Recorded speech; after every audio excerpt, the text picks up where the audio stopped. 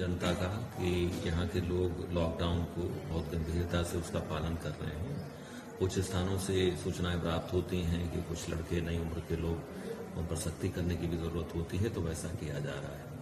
हम लोगों ने सभी घरों तक दरवाजे दरवाजे फल, सब्ज़ी, राशन इत्यादि भेजने का और दवाई की दुकानों से ऑन कॉल सलाह भी देने का डॉक्टरों के द्वारा और उसके बाद दवाइयाँ पहुँचाने की पूरी व्यवस्था कर रखी है। क्योंकि सप्लाई चेन हमारे यहाँ की बहुत स्ट्रांग है और चीज़ें लोगों के घरों तक पहुँच रही हैं, इसलिए लोग लॉकडाउन का पालन कर रहे हैं। एक समस्या हमारे यहाँ उत्तराखंड से आने वाले लोगों की और दूसरे जनपदों से आने वाले लोगों की थी।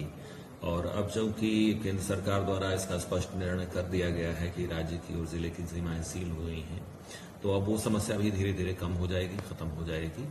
बहरहाल जितने भी लोग बिजनौर जनपद में हैं, सबके लिए अगर उन्हें आश्रय स्थल की आवश्यकता है तो उसकी व्यवस्था की गई है। हम लोग अभी तकरीबन 2000 फ़ूड पैकेट्स प्रतिदिन उसका वितरण करा रहे हैं।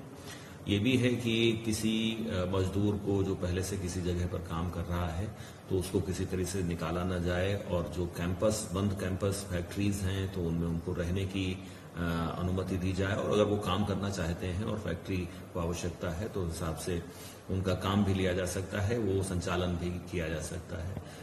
चूँकि शुगर मिल्स हमारे यहाँ चल रही हैं क्रशर्स भी चल रहे हैं और कोलू भी चल रहे हैं और किसान चूँकि खेती के काम में बहुत एक दूसरे से नजदीकी सोशल डिस्टेंसिंग आमतौर पर अपने स्वाभाविक रूप से ही बनी रहती है, इसलिए लोग ये गन्ने के काम में लगे हुए हैं। और गाँव में भी इसके अतिरिक्त जो हमारा लॉकडाउन है, वो काफ़ी अच्छी तरीके से मेंटेन्ड है। अभी सौभाग्य से जनपद बिजनौर में कोई कोरोना पॉजिटिव पेशेंट नहीं आया है, लेकिन हम काफ़ी सतर्क हैं क्योंकि कुछ लोग एनसीआर साइट से करीब दो ढाई हज़ार लोग पिछले एक दो दिनों में आए हैं और उनको गाँव में हम लोगों ने क्वारंटाइन या शहर में क्वारंटाइन अपने घरों में करके रखा हुआ है एंड वी आर ऑब्जर्विंग हम लोग सतर्कता से उनको उनको देख रहे हैं और उम्मीद करते हैं कि कोई निकट भविष्य में भी कोई कोरोना पेशेंट पॉजिटिव नहीं आएगा। किराया, जो किराए पर लोग रह रहे हैं, उनके बारे में जैसा कि शासन के निर्देश हैं, मकान मालिकों से यही अपेक्षा है कि वो इस महीने का किराया न लें। और कोई विद्युत कनेक्शन नहीं काटा जाएगा। विद्युत कनेक्शन सतत चलता रहेगा, बिजली की सप्लाई भी रहेगी। मेरा अनुरोध जनता से ये है कि देखिए, आज, छह दिन के आसपास पूरा हो रहा है।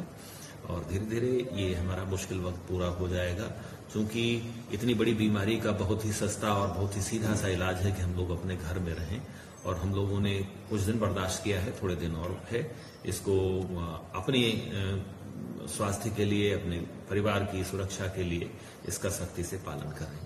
मैं मीडिया के लोगों का भी बहुत आभारी हूँ और जो लोग हमारी सहायता कर रहे हैं इस काम में, अपने घर बैठकर ही जो सहायता कर रहे हैं, मैं उनका भी आभारी हूँ कि हमारे लॉकडाउन में उनकी मदद मुझे प्राप्त हो रही है।